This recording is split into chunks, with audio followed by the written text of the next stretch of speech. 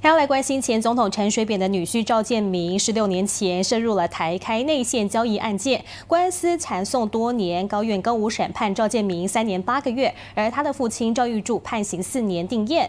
赵玉柱今天早上到台南地检署报到入监服刑，而赵建明疑似为了躲避媒体拍摄，他提前一天到台中监狱报到。根据了解，赵建明入狱之后，他住的是二到五人房，有一名室友跟他同住。狱方说，赵建明晚餐吃了。三菜一汤，早餐则是吃了清粥和酱菜，心情上还算稳定。那么他今年八月份初开幕的骨科诊所已经贴出了歇业告示，而许久不见的前总统夫人吴淑珍也到女儿陈信瑜开的牙医诊所，似乎是要关心女儿。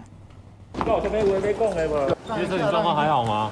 戴着帽子、口罩走进台南地检署，他就是前总统陈水扁的亲家赵玉柱，涉及台开内线交易案，遭到判刑定验。二十六号上午入监服刑。还有跟还有跟儿子联络吗？面对记者提问，没有多做回应。赵玉柱和儿子赵建明，二零零五年涉入台开炒股案，不法获利数千万，官司缠讼十六年，最终判刑定验。赵玉柱被判四年，儿子赵建明被判三年八个月。检察官会进行讯问，然后讯问之后，人别确定没问题，没有不宜执行。的情况就会发监执行。